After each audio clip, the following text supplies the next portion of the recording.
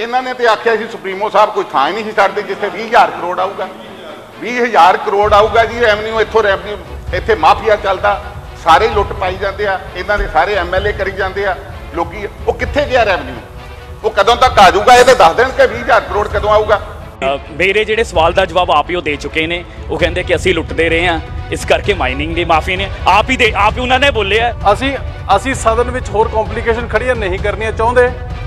ਅਗਰ ਕਰਨੀਆਂ ਚਾਹੁੰਦੇ ਤਾਂ 10 ਸਫ਼ਿਆਂ 10 ਸਫ਼ਿਆਂ ਦੀ ਮੇਰੇ ਕੋਲ ਲਿਸਟ ਹੈ। ਜਿਸ ਵਿੱਚ ਇਹਨਾਂ ਸਾਰਿਆਂ ਦੇ ਨਾਮ ਹਨ ਜਿਨ੍ਹਾਂ ਨੇ ਜਿਨ੍ਹਾਂ ਨੇ ਰੇਤੇ ਦੀਆਂ ਖੱਡਾਂ ਠੇਕੇ ਤੇ ਲਈਆਂ ਹੋਈਆਂ ਹਨ।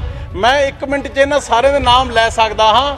ਸਪੀਕਰ ਸਾਹਿਬ ਇਹਨਾਂ ਨੇ ਰੇਤੇ ਦੀਆਂ ਖੱਡਾਂ ਵਿੱਚੋਂ ਰੇਤਾ ਕੱਢਣਾ ਹੈ। ਤਾਂ ਕੱਢੀ ਜਾਣ ਦਿਓ ਲਿਸਟ ਮਿਲੀ. ਜੇ ਜੇ ਨਹੀਂ ਮਿਲੀ. ਸਰਕਾਰੀ ਸਾਹਿਬ ਬੈਠੋ, ਇਹਨਾਂ ਸਾਹਿਬ, ਨੂੰ this is not a list way to ਦਵਾ interrupt a ਦਿਓ member. ਇਹਨਾਂ ਨੂੰ. ਲਿਸਟ ਦਵਾ ਦਿਓ ਕੈਪਟਨ ਅਮਰਿੰਦਰ ਸਿੰਘ ਦੀ. ਪ੍ਰਪੇਅਰ ਕੀਤੀ ਹੋਈ ਜੇ ਕੰਮ ਇਹ ਕੰਮ ਸ਼ੁਰੂ ਕਰਨਾ ਅਮਰਿੰਦਰ ਸਿੰਘ ਤੋਂ ਕਰੋ ਲੈਟ ਅਸ ਸੀ ਕਿੰਨੀ ਪੋਲੀਟੀਕਲ ਵਿਲ ਤੁਹਾਡੇ 'ਚ ਹੈ you are naming Amarinder Singh he has a complete list then firstly get hold of Amrinder Singh and get the whole list.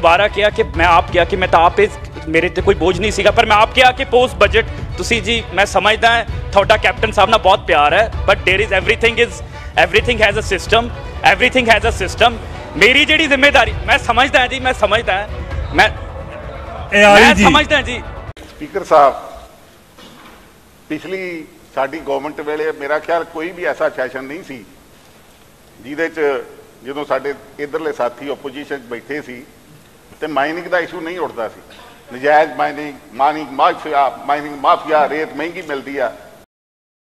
12 ਰੁਪਏ ਤੋਂ ਲੈ ਕੇ 20 21 ਰੁਪਏ ਤੱਕ ਫੁੱਟ ਰੇਟ ਵਿਕਦੀ ਸੀ, ਮਤਲਬ ਸੈਂਕੜਾ 1700 ਰੁਪਏ ਨੂੰ ਜਾਂ 2000 ਤੱਕ।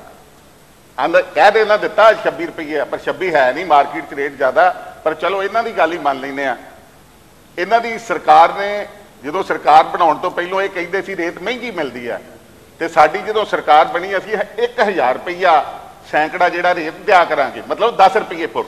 ਇਹ ਕਿਰਪਾ ਕਰਕੇ ਦੱਸ ਦੇਣ ਕਿ ਉਹ ਰੇਟ ਕਦੋਂ ਤੱਕ ਹੋ ਜਾਊਗਾ।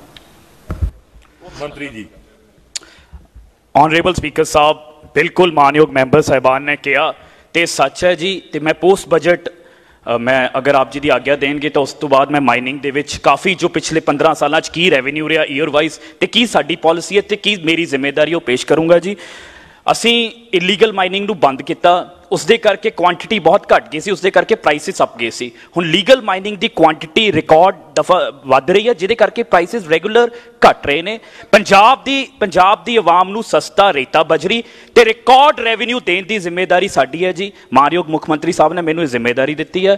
ਜਿੰਨਾ ਰੈਵਨਿਊ ਪਿਛਲੇ 5 ਸਾਲਾਂ ਚ ਆਇਆ ਹੋਊਗਾ, ਉਹ ਅਸੀਂ 1 ਸਾਲ ਚ ਦਵਾਂਗੇ ਫਲੋਰ ਔਨ ਦਾ ਹਾਊਸ ਤੇ in the during my budget speech ਮੈਂ ਮਾਈਨਿੰਗ ਦੇ ਉੱਤੇ ਆਪਣੇ ਆંકੜੇ ਆਪਣੇ ਡਾਟੇ ਤਥਾ ਵਾਈਜ਼ ਪੇਸ਼ ਕਰੂੰਗਾ ਜੀ ਬਹੁਤ ਧੰਨਵਾਦ ਜੀ ਜੀ ਸਪੀਕਰ ਸਾਹਿਬ ਮਾਈਨਿੰਗ ਦੇ ਰੈਵਨਿਊ ਦੀ ਗੱਲ ਚੱਲੀ ਇਹਨਾਂ ਕੀਤੀ ਆ ਮੈਂ ਵੀ ਸਵਾਲ ਕੀਤਾ ਸੀ ਅਜੇ ਤੱਕ 3 ਮਹੀਨਿਆਂ 'ਚ ਇਹਨਾਂ ਨੂੰ 30 ਕਰੋੜ ਆਇਆ ਹਾਲਾਂਕਿ 30 ਕਰੋੜ ਦੇ ਵਿੱਚ ਇਹਨਾਂ ਨੂੰ ਵੀ ਪਤਾ ਕਿ 12 13 ਕਰੋੜ ਪਿਛਲਾ ਸੀ 30 ਕਰੋੜ ਤਿੰਨਾਂ ਮਹੀਨਿਆਂ 'ਚ ਨਹੀਂ ਆਇਆ ਇਹਨਾਂ ਨੂੰ ਪਰ ਚਲੋ ਅਸੀਂ 30 ਮੰਨ ਲੈਨੇ ਆ 10 ਕਰੋੜ ਰੁਪਈਆ ਮਹੀਨਾ ਆ ਗਿਆ ਇਹਨਾਂ ਨੇ ਤੇ ਆਖਿਆ ਸੀ ਸੁਪਰੀਮੋ ਸਾਹਿਬ ਕੋਈ ਥਾਂ ਹੀ ਨਹੀਂ ਸੀ ਛੱਡਦੇ ਜਿੱਥੇ 20000 ਕਰੋੜ ਆਊਗਾ 20000 ਕਰੋੜ ਆਊਗਾ ਜੀ ਰੈਵਨਿਊ ਇੱਥੋਂ ਰੈਵਨਿਊ ਇੱਥੇ ਮਾਫੀਆ ਚੱਲਦਾ ਸਾਰੇ ਲੁੱਟ ਪਾਈ ਜਾਂਦੇ ਆ ਇਹਨਾਂ ਦੇ ਸਾਰੇ ਐਮਐਲਏ ਕਰੀ ਜਾਂਦੇ ਆ ਲੋਕੀ ਉਹ ਕਿੱਥੇ ਗਿਆ ਰੈਵਨਿਊ ਉਹ ਕਦੋਂ ਤੱਕ ਆ ਜਾਊਗਾ? ਇਹ ਤਾਂ ਦੱਸ ਦੇਣ ਕਿ 20000 ਕਰੋੜ ਕਦੋਂ ਆਊਗਾ?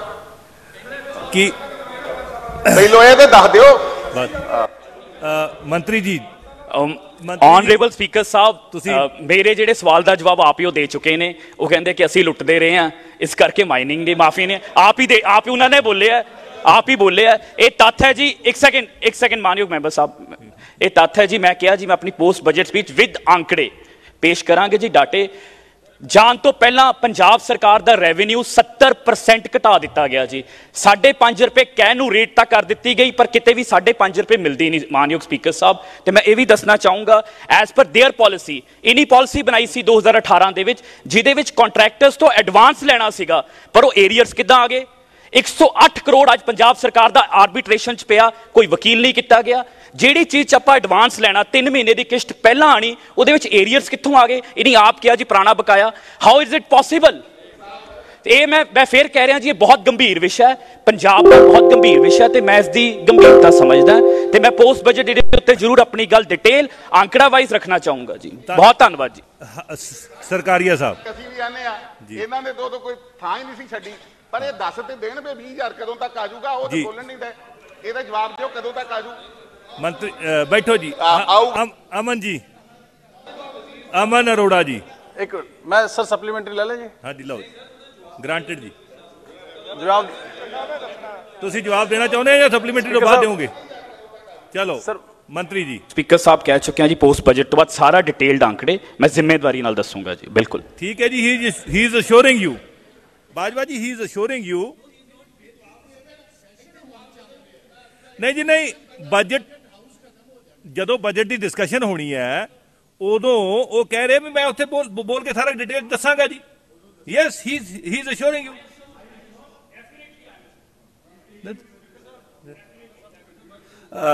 Aman Arora ji. ਮੰਤਰੀ ਜੀ। Years Ma- ma- and data of every year.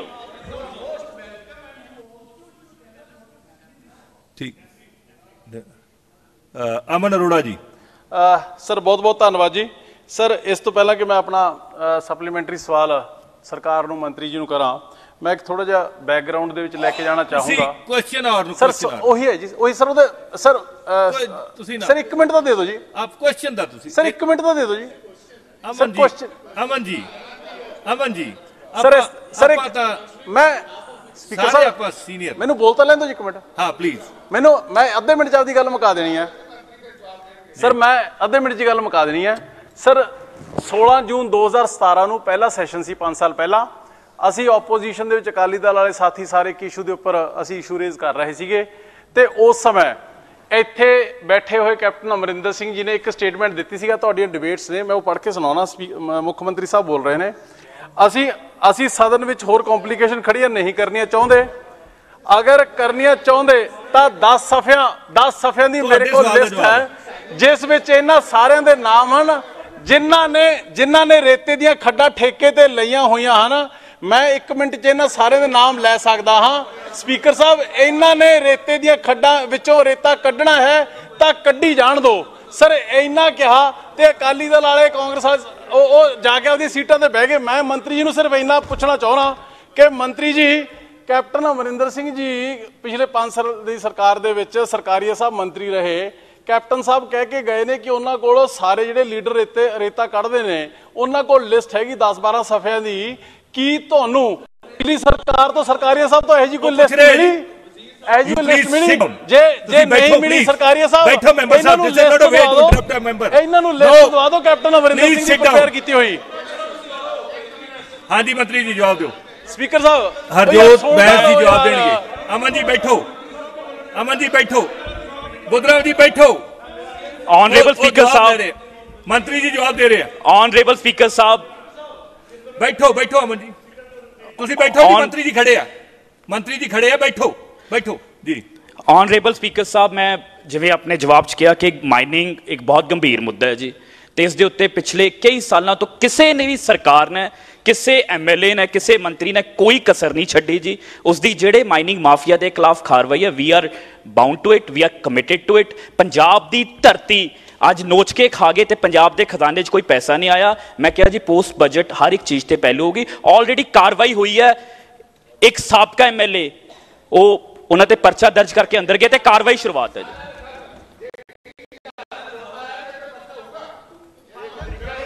Sarkaria ਸਾਹਿਬ ਬੜੀ ਜ਼ਿੰਮੇਵਾਰੀ ਨਾਲ ਕਹਿ ਰਿਹਾ ਮੈਂ ਦੁਬਾਰਾ ਕਹਿ ਰਿਹਾ on the floor of the house I am saying ਜਿੰਨਾ ਰੈਵਨਿਊ ਜਿੰਨਾ ਰੈਵਨਿਊ ਤੁਸੀਂ 15 ਸਾਲਾਂ ਚ ਨਹੀਂ ਦੇ ਸਕੇ ਇੱਕ ਸਾਲ ਚ ਦਵਾਂਗੇ। ਇਹ ਆਲੀ ਸਾਹਿਬ।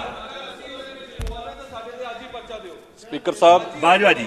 ਸਪੀਕਰ ਸਾਹਿਬ। ਮੈਂਬਰ ਸਾਹਿਬ ਬੋਲ ਰਹੇ। ਇੱਕ ਮਿੰਟ ਜੀ। ਇੱਕ- ਇੱਕ ਇੱਕ ਮਿੰਟ ਅ, ਇਹ ਆਲੀ ਜੀ ਤੁਸੀਂ ਬੈਠੋ ਲੀਡਰ ਆਫ ਆਪੋਜੀਸ਼ਨ ਕੁਝ ਕਹਿਣਾ ਚਾਹੁੰਦੇ ਆ। ਗੱਲ ਸਾਹਿਬ ਸਰ ਨਵੇਂ ਮੰਤਰੀ ਨੇ ਅਸੀਂ ਇਹਨਾਂ ਦਾ ਸਤਿਕਾਰ ਕਰਨਾ ਹੈ। ਬਟ ਨੌਜਵਾਨ ਆਪਣੇ ਸਾਥੀ ਨੂੰ ਮੈਂ ਕਹਿੰਦਾ ਸਵੀਪਿੰਗ ਸਟੇਟਮੈਂਟਸ ਨਾ ਦਿਓ। ਜੇ 1 ਮਿੰਟ ਬੈਠੋ ਜੀ। ਜੇ ਤੁਹਾਡੇ ਕੋਲ ਕੋਈ ਤੱਥ ਹੈ ਤੇ ਲਿਆ ਕੇ ਸਵੇਰੇ ਉਹਨਾਂ ਨੂੰ ਇੰਟਰੋਗੇਟ ਕਰਾਓ ਤੇ ਪਹਿਲੇ ਅਮਰਿੰਦਰ ਸਿੰਘ ਤੋਂ ਕੰਮ ਸ਼ੁਰੂ ਕਰੋ। ਜੇ ਕੰਮ ਹੈ ਕੰਮ ਸ਼ੁਰੂ ਕਰਨਾ ਅਮਰਿੰਦਰ ਸਿੰਘ ਤੋਂ ਕਰੋ ਲੈਟ ਅਸ ਸੀ ਕਿੰਨੀ ਪੋਲੀਟੀਕਲ ਵਿਲ ਤੁਹਾਡੇ 'ਚ ਹੈ you are naming Amarinder Singh he has a complete list then firstly get hold of Amrinder Singh and get the whole ਠੀਕ ਹੈ list ਬਾਜਵਾ ਜੀ ਬੈਠੋ ਬੈਠੋ don't ਬਾਜਵਾ make ਜੀ the ਬੈਠੋ sweeping statement in uh, front of Punjab ਬੈਠੋ ਬਾਜਵਾ ਬੈਨ ਸਾਹਿਬ ਬੈਨ ਸਾਹਿਬ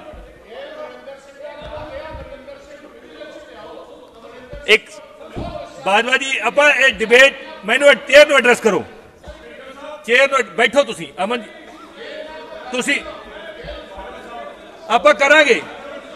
You will have ample time for discussion ਤੁਸੀਂ ਬਾਜਵਾ ਜੀ Honorable Speaker ਸਾਹਿਬ। kindly ਬੈਠੋ। ਮੰਤਰੀ ਜੀ ਜਵਾਬ ਦੇ ਰਹੇ ਹੈ ਜੀ ਮੰਤਰੀ ਜੀ। ਮੰਤਰੀ ਜੀ। ऑनरेबल स्पीकर साहब जी।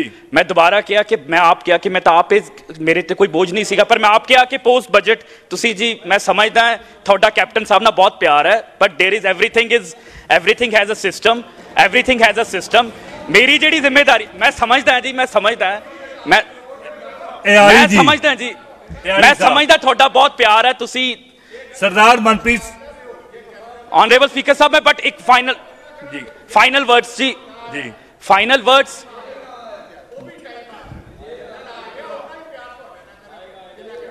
ਠੀਕ ਹੈ ਮੰਤਰੀ ਜੀ ਬੈਠੋ ਤੁਸੀਂ ਬੈਠੋ ਬੈਠੋ Thank you, thank you, ਬੈਠੋ। Speaker ਸਾਹਿਬ। ਮਨਪ੍ਰੀਤ ਸਿੰਘ ਯਾਲੀ ਜੀ ਸਪੀਕਰ ਸਾਹਿਬ ਜੀ ਇਹ ਪਿਛਲੇ ਪਿਛਲੀਆਂ ਸਰਕਾਰਾਂ 'ਚ ਬੜਾ ਇਹ ਅਹਿਮ ਮੁੱਦਾ ਰਿਹਾ ਰੇਤ ਮਾਫੀਆ ਦਾ ਇਹਦੀ ਨਿਰਪੱਖ ਜਾਂਚ ਹੋਣੀ ਚਾਹੀਦੀ ਆ ਕੋਈ ਵੀ ਲੀਡਰ ਕੋਈ ਐਮਐਲਏ ਮੰਤਰੀ ਚਾਹੇ ਪਿਛਲੀਆਂ ਸਰਕਾਰਾਂ 'ਚ ਰਿਹਾ ਜੇ ਇਹਦੇ ਵਿੱਚ ਕੋਈ ਸ਼ਾਮਲ ਹੈਗਾ ਤਾਂ ਲੋਕਾਂ ਦੇ ਸਾਹਮਣੇ ਆਉਣਾ ਚਾਹੀਦਾ ਬਿਨਾਂ ਕਿਸੇ ਪੱਖਪਾਤ ਤੋਂ।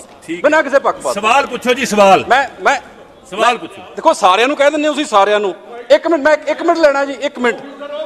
ਮੈਂ ਬਿਲਡਰ ਆ ਅਸੀਂ ਰੋਜ਼ ਸਾਡੇ ਚਾਰ ਟਰਾਲੀਆਂ ਲੱਗਦੀਆਂ ਰੇਤੇ ਦੀਆਂ।